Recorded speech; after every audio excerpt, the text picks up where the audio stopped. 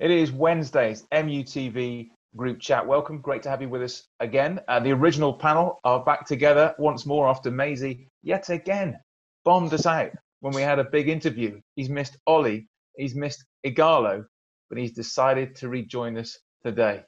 Good to see you, mate. You just pick and choose, don't you? Listen, when you when you play golf, you have to have you have to book in now because it's only two and three ball. You have to book in a week in advance. So when I get that opportunity for tea time, it's not my fault. MUTV can't work around me. Odion Ighalo was there, mate. You could have called. You could have called us from the course between holes or something. No. Careful what you're saying there, Stu. No. Yeah. Um, Disappointing, though, mate. You let the lads down. hey, you got a good replacement in McCauley, so No, we did. We did. Um, listen, before we, I, everything all right? Let's put away. It's lashing with rain here, Ben. What's going on? with- uh, Once again, in your mysterious Mediterranean hideout, got No, I think- different. This is the last of it now, I think. I'm Yeah. milking every last drop. It's going to rain later. Good. Looking forward to that. Let's um, just get through the reaction on social media um, to the last couple of shows. Obviously, Ighalo, John Bradley from Game of Thrones, as well in the last couple of days. Uh, there's been loads of it. So let me just get through some of this. This one from Adam maybe COVID 19 is the long winter in Game of Thrones. I loved John and Kit when I found out they were both Reds. This one, thanks for getting John on. John Bradley, that is from Game of Thrones. I requested it a few weeks ago. It was a brilliant group chat today. Thanks for that. Another one here. Uh, Hi, guys. Top show. If I make a request, can we get Fletch on this show? Top player, fantastic servant for United. Pity that it was uh, had heard the hurdle of illness, but I'm sure he'd have loads to share. Please do consider. Lots of love from India. That might. Where's that might happen? Might it? Fletch possibility. I'm, I'm sure I said it was Yeah, next week. I think. Yeah. There you go, Yeah. Fletch, Fletch on the cards next week. So hopefully that's going to happen. This one um, about Ighalo. I'm so happy for him, and this is what United need: passionate players that will fight for us all the best. Ighalo. This one again. This man just breathes passion for United. This is the type of player that we want. Absolutely over the moon. He's been given a second chance with the loan extension. Um, fingers crossed for a permanent contract. He's here until at least the end of January. David as well. Great chat. Maisie needs another another forfeit. I think it's a good a good shout that another forfeit for missing, of course, another show. I love Odion as his passion is terrific, and uh, uh, he is the battering ram that we need. Stu, you do great as well. Keep the show going after lockdown. Uh, well, I hope we can. I hope we can in some form. Look forward to that. Uh, and this one, any chance you can show the unedited group chat of Maisie chatting up Ben Thornley I was in stitches after watching that. Maisie, a legend. Ben Thornley so easily chatted up for Nando's. Hilarious. If we did show you the full unedited version, we would never work again. None of us. Literally, none of us would ever work again, I'm afraid. Uh, Maisie must have another forfeit. Make him dress as a lady for the full show. Another one here as well. Make Maisie wear a dress. So I think you've got one handy, Maisie. That is Oh, a possibility. there are really some weird people out there, aren't there? yeah, So, you- particularly when they see me in a dress. yeah, well, you know, keep them coming in. We'll, we'll try and make them do something for the end of the week. Um, email here as well from Lindsay. Thank you so much for the group chat. They really are a pleasure to watch. I'm a lifelong United fan from Warrington, uh, but now I live in Stoke with a Stoke fan. I'm so dear me. I'm so sorry about that. Uh, no offence to Danny, Wes, and Ben. Maisie, you're my favourite. Keep up the good work, lads, and thank you once again. Keith, mate. Lindsay. That was Lindsay. And then finally from Kat, lads, I unfortunately missed the last two episodes of group chat and Maisie's moment of glory. No, it's probably too late, but I thought of a challenge that could be done any day. Maisie, Wes, and Danny and Ben singing I Will Survive in honor of all the key workers and the hard work they put in for all of us. I don't know. Lads, what do you think about that? I Will Survive? No, that's not going to happen, is it? In honor of the key workers? I don't Um, mind. Well, it might happen. Easy, easy that. Yeah. You, you are Dan? That'd be easy for you to sing, wouldn't it? Yeah. Hey, if we all sing, That's we all sing. the Will- finger. Hey, Will clap. Gardner, you're not getting away with this. Oh well, I don't mind, mate. Yeah, I don't mind. You can have a word with your old man Boris. Yeah. Oh, He was good. Yeah. That's who we're Oh, applauding for.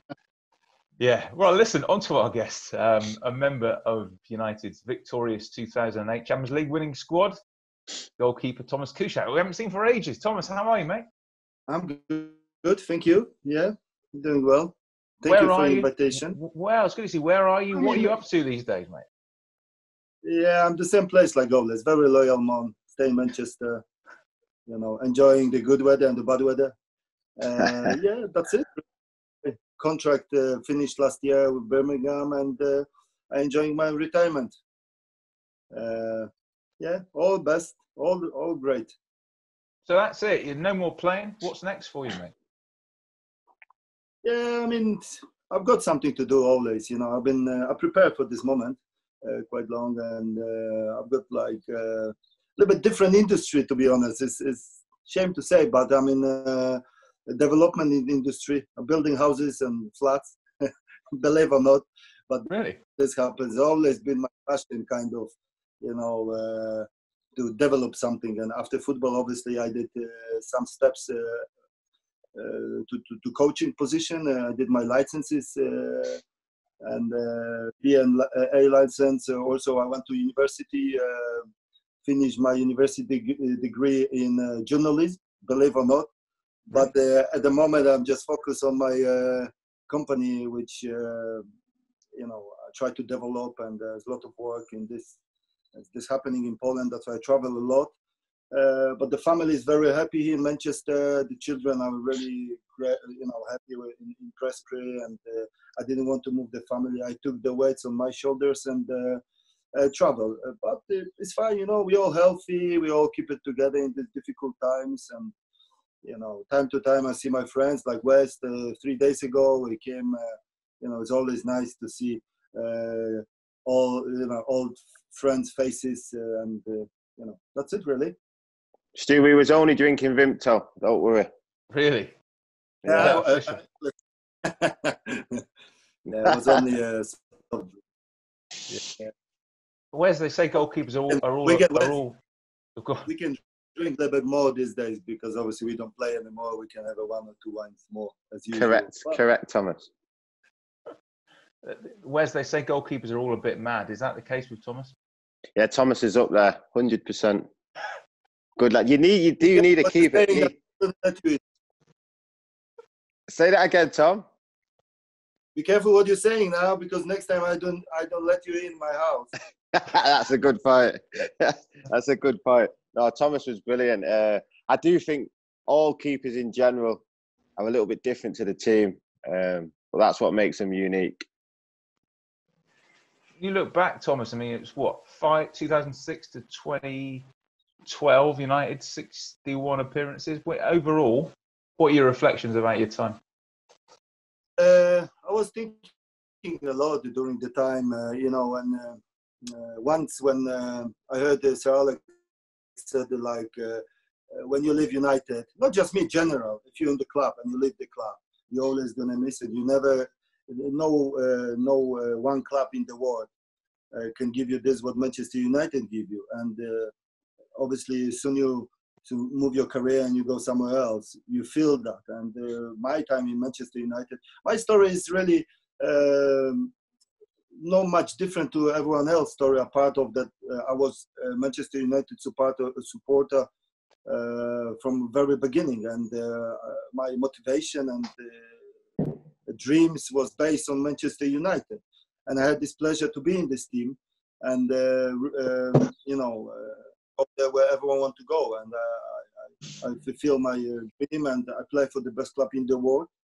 Um, was up and downs, was difficult uh, times for me, time to time, because obviously my ambitions was really high, as everyone else was playing for Manchester United, and uh, um, there was a time of disappointment where I didn't get many games I love to get, but obviously the part, this is the the, the, the, most important part of it was I, I, I uh, you know, I play for the team which give me the memory. Uh, after that, before and after that, I played different teams, good teams also, you know, with history and this. But without Manchester United, my career would be ordinary. Let's call this way. With Manchester United, there was something which really uh, if, if jealous. If somebody want to be jealous, then it's, need to be jealous for that because you know every day when I wake up and I think uh, what a great time I had in Manchester United. I met so many great people, and uh, I, I, you know, the Sir Alex give me this kind of opportunity to to see football in different angle. And uh, I'm never gonna forget. This is nothing new, guys. What you hear because every player, ex-player, is saying the same stuff. You know, Manchester United is a family of people which uh, always gonna be friends. You know, I don't even know some of the ex-players personally, but when I see these faces like you guys, I feel like family, and this is the the feeling which you're gonna get only in this team. Obviously, I, I never played for uh, I don't know, uh, let's say Barcelona or something, but you know, it's, it's very true. Many players leaving the United feel like missing something. I was the same, you know. My time was fantastic. Nothing, nothing to say. Uh, nothing else to say, you know. Always, I'm two. Uh, I've got two season tickets. Uh. Manchester United. I see fans and the normal stands above the away fans. Go shout, you know. I love it. I always loved it, and you know, sometimes when I say, Thomas, come with us and hear this. Oh, I want to go and see the, with fans. You know, I want to. Now, I did my part. I enjoyed it. And now I'm screaming, but I'm from different angle. I used to scream in the goal. Now I scream you mentioned obviously as a goalkeeper you wanted to play and you, you played plenty of games but you're obviously for the most part edwin was the number one and obviously you know uh, uh, he was an extraordinary keeper as well so when you look back, you think oh, I'm a little bit frustrated. But then again, you've won Premier Leagues. You're on the bench for three Champions League finals. But there's just that little Listen, bit of frustration. No, it's just frustration. You know, no bad. I don't want to you take guys this uh, kind of bad way because uh, frustration is ambition as well. I was really ambitious and I want to give more. I want to play more. I want to be any second on the pitch. Give me so much pleasure. And obviously, I was. You know, I was training hard. I was always prepared. I knew my rule. And obviously, maybe something's a little bad, but uh, you know, I was the uh, Edwin was not bad, but Edwin was Edwin is one of the most extraordinary goalkeepers in the world over the history. Because if you look on his uh, career, you know, when I arrived to the club, he was 11 years older as me. You know, when I when I was a kid, he already won Champions League, and uh, you know, that was with Ajax for me to be uh, to train with the guy like that and see him every day and watch was something special. You know what I mean? People say who is the best, who is the best goalkeeper United in the world. For me, uh, you know, uh, Edwin was extraordinary. One of the three, the best goalkeepers in the world, no doubt. You know, yeah. and obviously, I was uh, just the, the kid coming to the club with big ambitions and try to, you know, play a part. And uh, I, I, I'm grateful for it. You know, uh, over the time people say to me oh maybe go away and play somewhere more games and this. I always say one game for manchester united is a hundred games for different club that was my philosophy in, in football and i i never gonna change that because end of the, your career you can have a 400 games or 500 games for different clubs. Yeah fine but really what count? How many games did you have for for the best club in the world? And I had this pleasure to be in this time, and I was really lucky and grateful for that. That you know we won things. We won the Premier League, Champions League, three times Champions League final, uh, FA uh, Carling Cup at the time, a Charity Shield. Unbelievable time. You know, I've got so many medals home. Sometimes I look and I think like, what did I deserve that? You know, I don't think so. But I've been, you know, so lucky to get it. And you can say whatever you want to say. The club is a the best club. That's it. Finish. is, there, is there anybody, Thomas, that stands out for you? So, which one player, or is there maybe one or two that stands out for you that you that you came up against in training that was a nightmare, but was exceptional above the rest? Uh, to helping me, you asking, or? No, I mean, so if you were in goal, um, which yeah. who was who was in your in the United team at the time yeah. that you that, that knocked you above or you found it difficult to play against? Yeah, I mean, many, you know, there was, uh, I mean, uh, was good and bad times. And they uh, obviously, uh, the lads, uh, yeah, they help also. And they bullied me as well in training. Let's call bullet, you know, they just give me a hard time. You know? when you stand against the Scholesys, for example, a few times he said to me, oh, let's go after training. I, am going to practice uh, some shots, yeah? And then for him was great because for 10, he put nine in the corner. And I was just, what? And I was thinking, like, what? How can this build my confidence here? But it's not just him, you know, it was many. Was for me, I was buzzing if I said one of them serious. Quality was a joke, you know, and the did the best and you know, I was happy with uh, what I was happy with. You know, many times they, uh, West knows, uh, you know, uh, Ronaldo and uh, Nani and Anderson and Ando stay after training and say, come on, stay after training. We do it. We do some practicing, free kicks, you know, millions of them. And, uh, you know, I was later on, if somebody asked me about the players, I said, for example, Ronaldo free kick, I said, yeah, I've got it in my pocket because I saved so many of them in training. But it's not true. You can have it in the pocket because the listen, the quality was unbelievable. But for me, it was always good to be there and you know do my best and obviously i had the hard times i had the bad games as well you know happen make mistakes uh, the lads always stand on me you know when i needed help. That's why maybe it's this this still love to and that this family feeling because the family should be like that. If you're struggling with something they should lift you up. And this is what happens in club you know. I had a I had a but like difficult times, and uh, you know you have to be honest with you. Not, not always going to be great, but the you know the, the the, the spirit and like West for example you know we were living close for long and you know always when there's something wrong we support and we always got some some good feeling from the lads and you know they lift me up and help me. Yeah. Ben Maisie? Thomas, Thomas. You, oh sorry go on Maisie. Oh, I was just going to say if you could relive one game Thomas what would it be? One game of all of it. With United. Yeah, I mean, uh, my debut was extraordinary because uh, it became very unexpected. I just signed the contract with United, and a few weeks later uh, was a big Arsenal team coming, the, the, the great 90 to you know Arsenal team, and uh, Edwin had a food poison, uh, and uh, and um, I remember when I when I did warm up, Brian Robson came on the pitch, do some interview, and he see me warm up, and he said. I said to him, Gaffer, because he was my manager in West Bromwich Albion. And I said, Gaffer, I play today. And he said, Whoa, great, good luck, mate. You know, and I, I, I was like buzzing because a big game. I think till today there was the most fans in the stadium, like kind of record be, uh, done. And uh, uh, we, I think we lost one 0 I did penalty. I saved that penalty. Obviously, I tried to be the man in this day, and. Uh, uh, it was a great game, you know. But a part of that was plenty, you know. I, I, debut are always special. You know, debut is, is, is great. But then I had two good games. You know, I beat Liverpool, uh, FA Cup home, great atmosphere. You know, uh, Steven Gerrard got sent off, and you know we beat them. Go on, Ben. Thomas, did you have a goalkeeping hero or an idol growing up? Yeah, uh, um, Peter Schmeichel was the one. As I said on the beginning, uh, I, my, my motivation, my dreams started with Manchester United. Uh, as a little boy in Poland, I had a full, my room was full of posters uh, of Manchester United, and it's true. Maybe one day I dig some picture to prove it. It's not just saying. And uh, Peter Schmeichel was the one. You know, I didn't have many opportunities at the time to watch, but uh, I read a lot, and uh, Peter Schmeichel was the one which I really really admired and, uh, and, and I try to follow. I always said that because this is true, you know. Actually, Thomas, you know, when you roughly, roughly uh, just before you left, David De Gea signed, and he's still here nine years later. What do you make about what David well, has done? David signed when I was still a year there. You know. Yeah.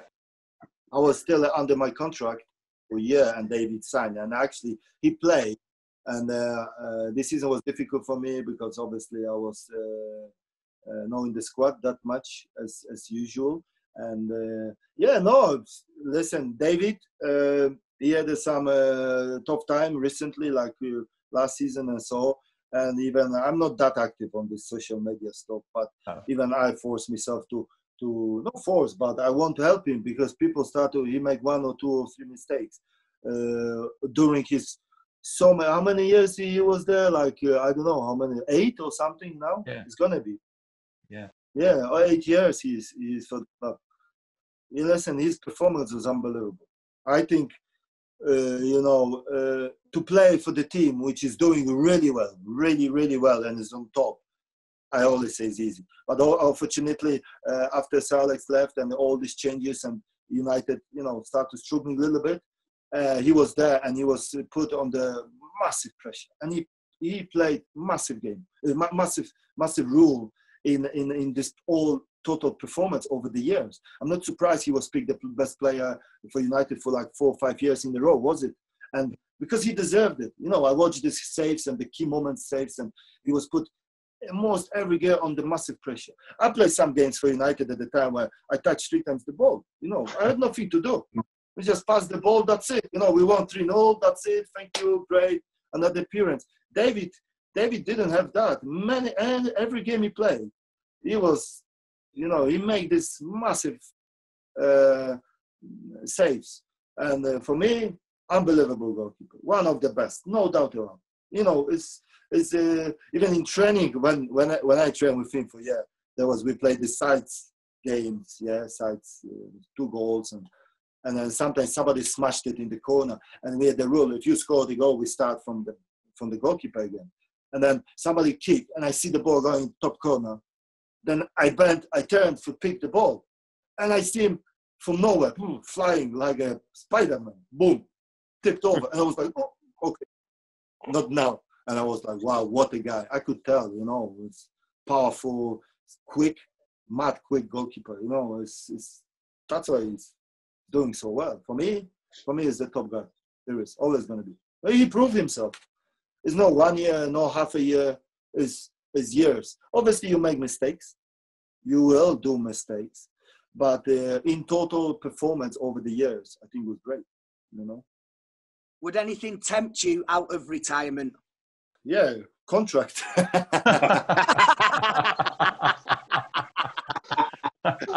I wanted to ask as well, mate. I mean, obviously, uh, Sergio Romero is in a kind of similar position to you in many ways. He never lets United down when he plays, but he's obviously very much the, the number two. I wonder what you make of him and what he's done because he's got an unbelievable record. Yeah, good, unbelievable record. Obviously, you know, uh, very similar, uh, similar position to, to mine. You know, I came very ambitious guy, good goalkeeper. Uh, but uh, he competed with David De Gea. David De Gea got it. He had a rough time, and he got his chance, and he used it. And uh, you know, keep going. You know, obviously, you know, it's, it's for, for managers always nice to have two goalkeepers or even three goalkeepers like that. Uh, if something go wrong or you get fatigue or you start to make mistakes based on on maybe kind of fatigue mental fatigue or something because this happens if you play so many games uh, every two three days you know you may get concentration a little bit you need to rest him then you've got option. Yeah put this guy in and he do well and he is doing this stuff you know. He's playing league cups uh, playing international football uh, UEFA football and he's doing very well you know. But I don't know he's happy with the position. I wasn't when I was there. I always wanted to play because I'm sure I don't know him personally but for sure he's ambitious guy. He showed that every every game he played you know, is prepared and is doing well. Uh, this coming from hard training sessions. You, you, you, you know, the, the, the work which you do every day. Uh, he does properly, he do his homework because if he's playing, he's doing well. And obviously, it's his decision, you know, or, or, going to accept this or to push and may get the chance to be a number one. You know, David, David, they start to, you know, struggling. The manager loved that. that. That was me the same with Edwin, you know, Sir Alex always uh, you know, uh, he knew it. I'm, I'm there for him if he needed me or something injuries. I was there. I was prepared, and uh, you know, this was my part, and this is his part. And you need to ask him, are he's happy with that or not? Did you ever get the hair? Did you ever get the hair dryer, by the way, Thomas, or not? Yeah, I can't remember. From, from Fergie. Oh yeah, oh yeah. Sometimes, sometimes I read. Uh, uh, there was a few interviews and few players. Uh, you know, said what happening. There was a one thing or two about me, but I had a few. You know, West knows some. There was a, you know, uh, and this is what everyone say. You shouldn't really answer it. You should take it as a man. But after the game, when the adrenaline is flowing in your blood, and obviously your intentions was fantastic, uh, great, but when the different direction and the manager coming and just you know, give you more than you answer. And I did. I answered one or twice, once or twice. You know, no effort. Always no effort.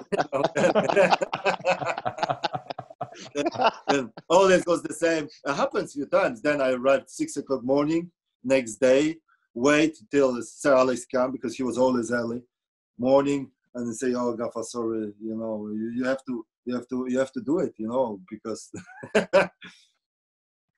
he was, yeah, he was right most of the times, you know, he was right. He knew it, what to do, what to say, you know. He, everyone, every player need a little bit time to time, you know, because if you get too comfortable, you lose concentration and performance. Simple as that. Listen, mate, it's been great having you on this morning. It's been really good to see you again, mate. Thank you so much for taking the time. I really appreciate it, No mate. problem. Glad it's going well for you. Keep going. Good to see you, pal. Thank you. Thomas Kuszczak. Bye. Thomas, Here's Thomas. All the best. Thomas. Take care, mate. Thomas, I can come and do that hair if you want. I can see a bit Yeah. coming at the side. At least I've got some.